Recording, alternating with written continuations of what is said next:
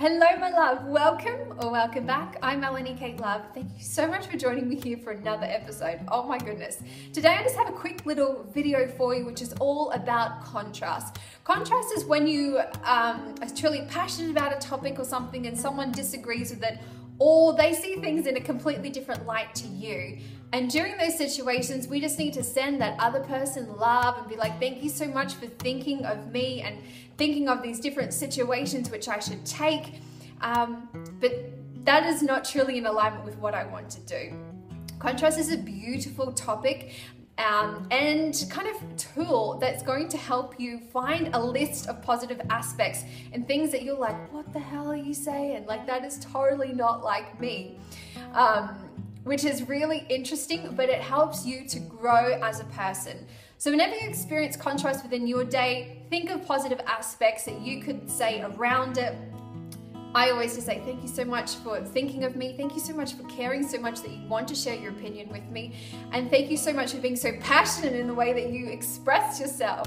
Um, yeah, so just start writing your list. Comment below, my loves, and let me know what is the contrast that you are experiencing within your reality. Because I would love to hear from you. I'm sure a lot of it's. Um, gonna be really juicy and I can't wait. If you are new to the MK Love fam, make sure you hit that subscribe button so you never miss another episode. Videos are now Wednesdays and Sundays at 6 a.m. Australian Eastern Standard Time. We've just cracked a million views too, my love. Oh my goodness, how exciting is that? Oh my gosh, do you believe that? Over three and a half years and I cracked 1 million subscribers and it is all a tribute to you, my beautiful MK Love fam who have been supporting me since the very beginning.